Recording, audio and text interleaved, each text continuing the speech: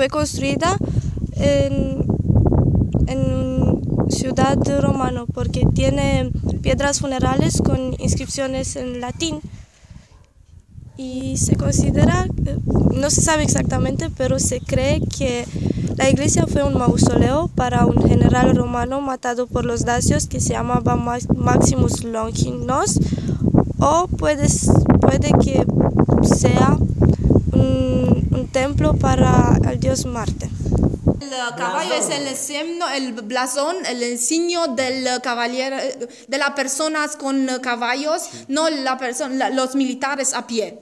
El Longinos fue un general, un general romano que fue um, prisionero del rey, del rey Daco de Chebal. La iglesia tiene una longitud de 30 pies. en el interior son 15 metros cuadrados tiene una anchura de 8 metros